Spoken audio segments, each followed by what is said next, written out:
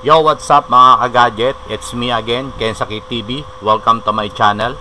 At kung ikaw ay bago sa akin channel, napadaan sa akin video, huwag kalimutang mag-hit ng subscribe and click notification bell para lagi kang updated sa aking mga video na ilalabas about sa mga cellphone, laptop, and uh, computer tutorial. No?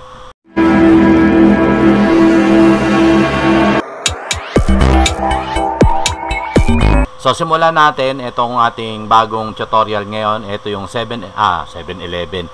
Ito yung C11, uh, Realme C11 at ang problem niya is uh, password and nakalimutan yung Google account ng may-ari.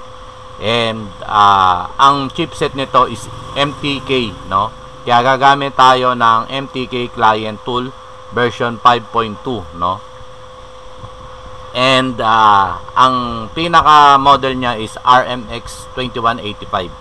So tara simulan na natin itong paggagawa natin. Unang-una, syempre papatayin natin yung unit and bubuksan natin sa software. Then click natin yung Realme tab. After Realme tab, click natin yung exact model. Then click natin yung factory reset. Then start. Kapag nag-start na, patayin ng unit, hold volume up, down, and saksak si USB. Yan. And antayin yung ma-detect yan, nakita nyo nag-run yung program. Pag 100% na yung formatting, okay na siya. So, saka natin siya bubuhayin. So, ayun mga ka-gadget, uh, habang inaantay natin yung pagpo-program, uh, nais ko kayong, uh, nais kong humingi ng tulong sa inyo, sa mga nakakapanood dito at sa mga subscriber ko na laging nanonood ng aking video na sana i-click nyo po ang like button and uh, kung gusto nyo naman pong i-share, mas mainam, para naman po matulungan nyo akong mapataas natin yung algorithm ng ating video. Dahil sa ngayon po ay naghihigpit na talaga si, hmm, alam nyo na po yan, no? So, sana po ay matulungan nyo ako. So, yun, nag-restart na yung unit at uh, ready to set up na yung unit natin, mga ka-gadget. And dito, syempre, isi-set up natin yung unit based on doon sa nakalagay sa screen mo.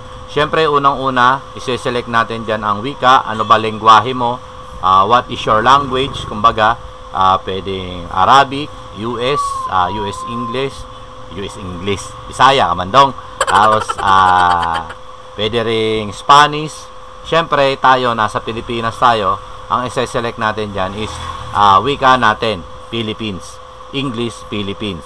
Pwede nyo rin i-select dyan ang uh, Pinoy, uh, Tagalog, Philippines. Pero mas mainam siguro kung English. Kasi yun na yung nakasanayan natin. No? So, ayan na. Siselect na natin. Then, kasunod niyan mga ka-gadget, ang siselect naman natin dyan is yung ating uh, country. So, saan ka ba nakatira? O, what is your country? Select nyo dyan yung kung anong lugar, kung anong country kayo nakatira. So, syempre ako nasa Pilipinas ako, then ise-select ko dyan is yung Philippines.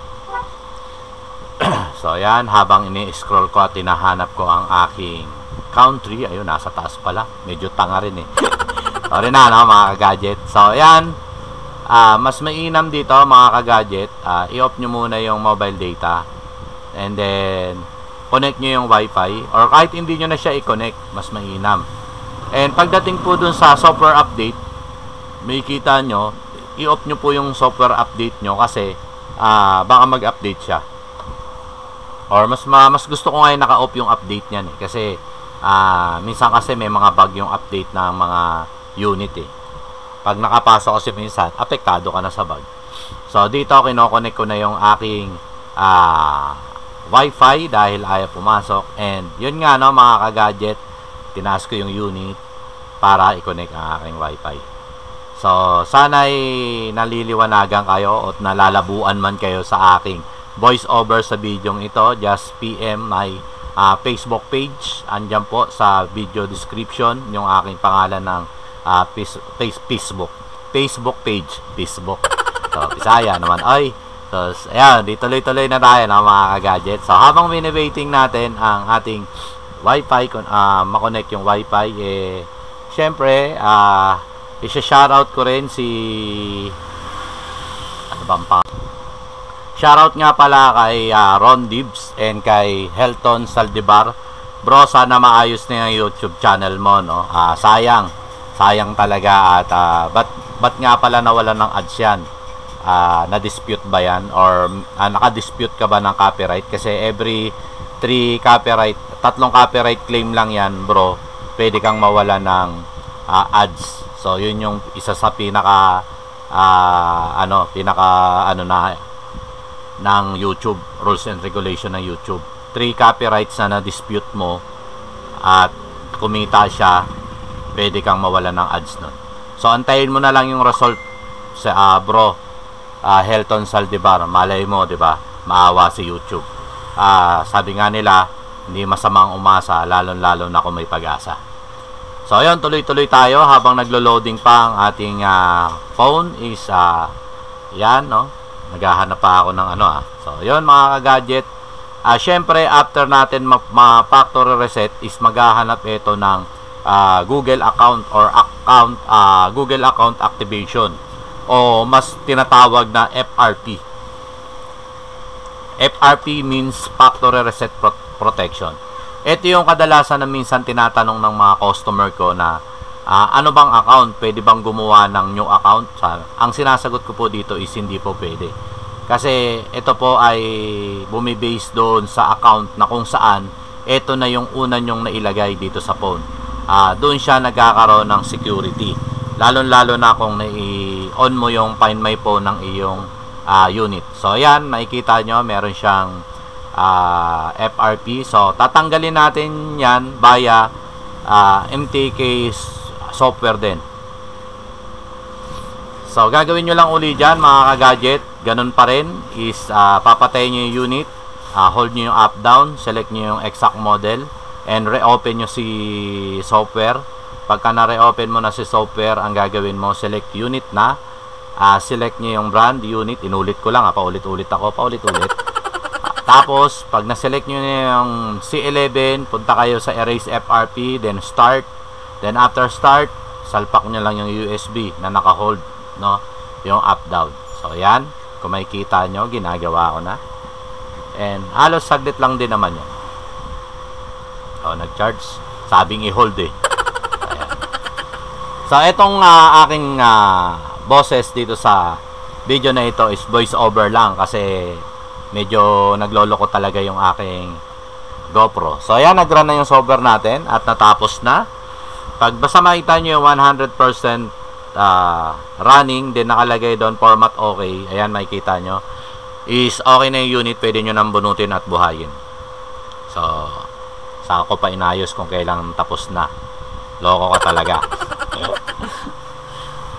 So, yan mga ka-gadget, medyo ingat-ingat lang din sa mga ibang YouTubers yan, lalo-lalo na sa mga small YouTubers yan. Wag na wag po kayong gagamit ng ah, yung parang play-to-play kung tatawagin. Play-to-play na VPN dahil baka mawalan din po kayo ng ads. Yan po yung tatandaan nyo. Hayaan nyo lang na mag-upload, na mag-upload kayo ng video. Maliit man yung views na nakukuha nyo, kahit pa paano, may pumapasok sa inyo, maski cents lang yung pumapasok na dollars. At least, manual yan na napapanood. Unlike dun sa mga play-to-play button na ginagawa ng mga ah, YouTubers ngayon, na small YouTubers na kung saan ay gagamit kayo ng mga VPN o kung ano mang merong ginagamit. Nako po, iwasan nyo po yan. Nade-detect na ngayon yan. No? Kaya, kung ako sa inyo, ah, mag-isip-isip na kayo. Huwag na kayo magpapaniwala doon sa Facebook group na play to play kayo, no?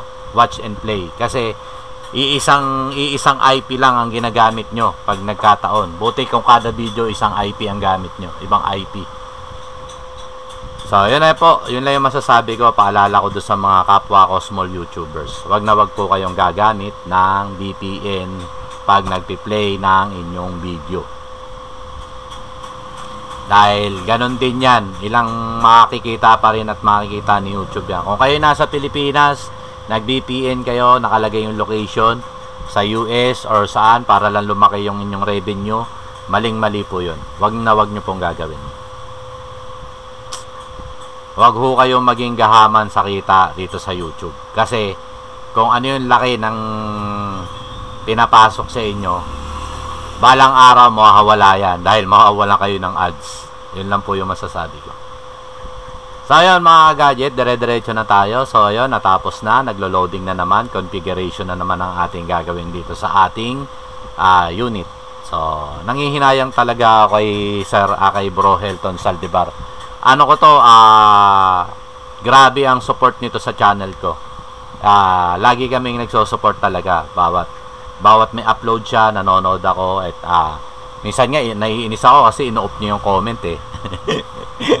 Baka isipin niya, hindi ako nanonood, diba? So, yun, ah, kumbaga, palitan lang kami, no? Kung sino yung naka, yung ibang naka-subscribe nga sa akin, kahit hindi ako binabalikan, pinapanood ko yung mga yan. eh. Hindi lang ako nagko-comment, no?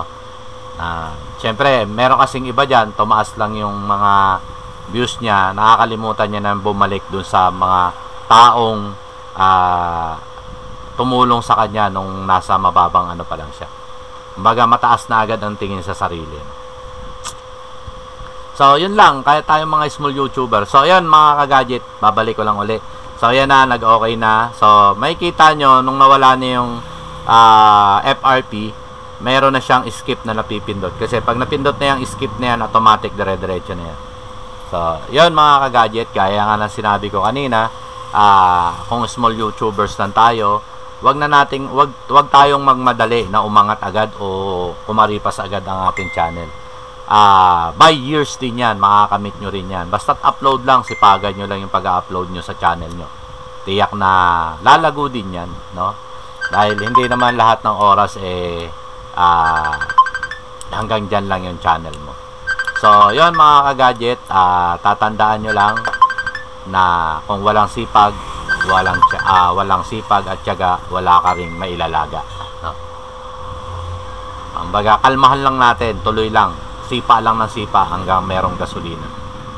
So, ayun mga gadget, natapos na itong ating ah, taga babypass ng password and ah, Google account ng C11 MTK chips, no?